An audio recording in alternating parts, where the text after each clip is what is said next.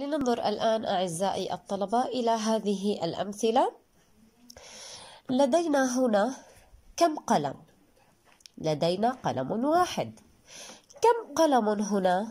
أحسنتم قلمان إذا هنا قلم واحد هنا قلمان على ماذا يدل قلم واحد؟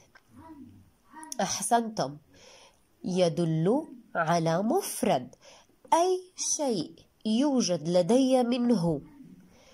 العدد واحد نقول عنه دائما بأنه مفرد. أما إذا كان لدي العدد اثنان فإننا نقول عنه مثنى. أحسنتم. إذا الشيء الواحد نسميه مفرد. الشيئان الاثنان نسميهما مثنى. أحسنتم إذا هذا نسميه مفرد هذا نسميه مثنى. لماذا؟ لأنه يدل على العدد واحد. وهذا لماذا مثنى؟ لأنه يدل على العدد اثنان. أحسنتم خلينا ننظر إلى هذا المثال الثاني. لننظر إلى هذا المثال الثاني. لدي في هذا الطبق تفاحة واحدة. أما في هذا الطبق كم تفاحة لدي؟ أحسنتم لدي تفاحتان.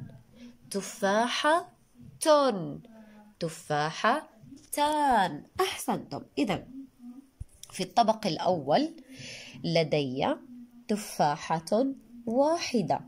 في الطبق الثاني لدي تفاحتان.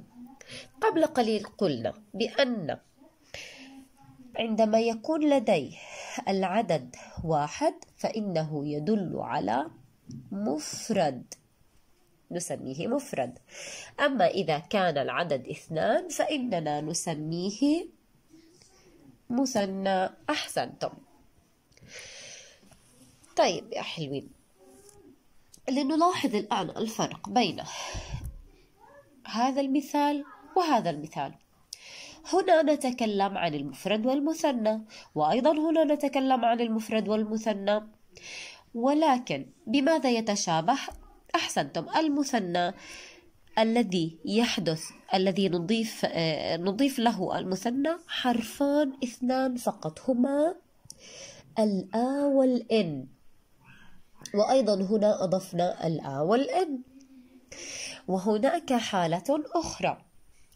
ممكن أن نقول قلمان وممكن أن نقول